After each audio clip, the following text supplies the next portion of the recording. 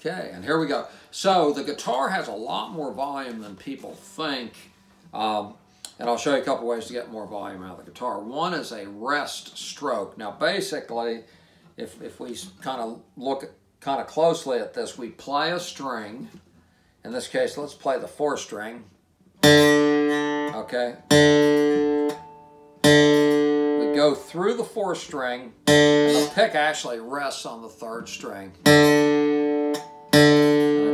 kind of volume. Now, with in all cases, if you play close to the bridge, you can play a lot how, harder and louder. And when you get up over the sound hole like this, you can't play as loud. So if when you're playing you want a nice soft sound for the vocalist, you'll do it lots of then all of a sudden the banjo comes in and you're wanting to really put some volume into it, then you go.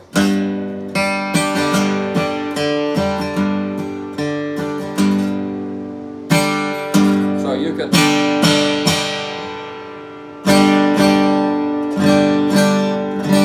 So you get completely different sounds depending on your, where your right hand is. Mm-hmm. Okay, we'll turn that off and then I'll show you the extra.